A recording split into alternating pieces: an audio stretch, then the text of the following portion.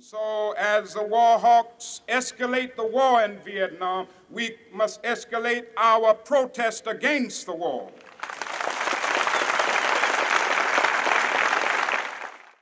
One of my favorite projects was working with Dr. Maya Angelou.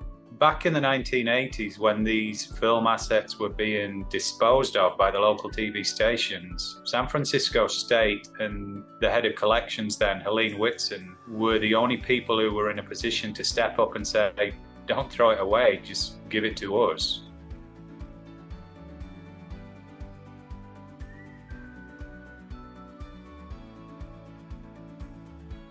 A lot of our film hasn't been touched since it came back from the lab and was thrown in a can at the TV stations.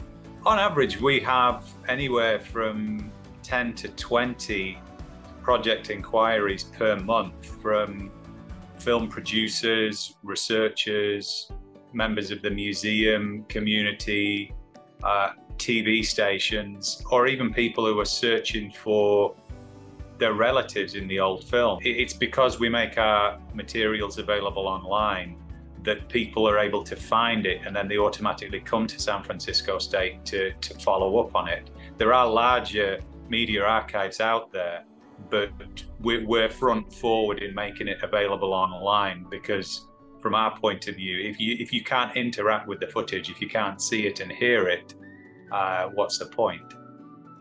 It's a very productive way to work. And while you're a student here you have the opportunity to use it for free